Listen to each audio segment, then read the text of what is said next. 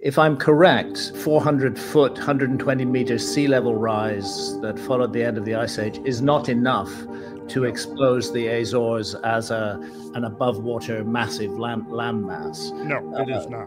So, it would so certainly another, increase the size of the islands, but, but it would not give you an, a, a landmass almost on the scale of, let's say, Iceland. Another factor is involved.